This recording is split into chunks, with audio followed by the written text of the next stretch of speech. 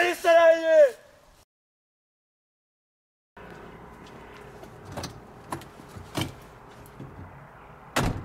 Dobrý den.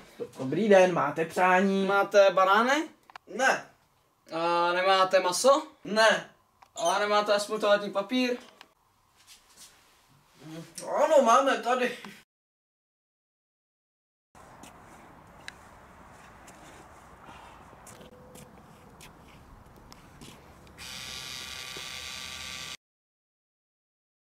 Věc, kterou mnoho lidí před naší generací ani neznalo. Díky bohu, my máme to štěstí, že jsme se narodili do svobodné země.